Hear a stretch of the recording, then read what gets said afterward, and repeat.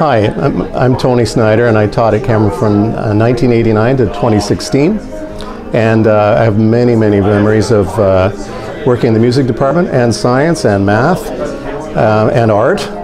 Um, music department, we usually had uh, Camp Crossroads retreats, were always lots of fun. There was uh, we had a swing dance with the jazz band that I used to direct and uh, there was a teacher band as well with uh, Hartman and Husick and whoever else we could get. Uh, and but I think the the funniest event for me was one year or two years I didn't teach music and I decided to coach volleyball instead.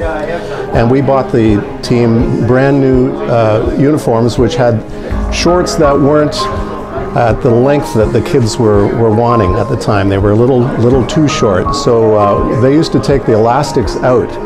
And I just remember one of our players who was an amazing jumper went to go spike the ball and he left his shorts on the court.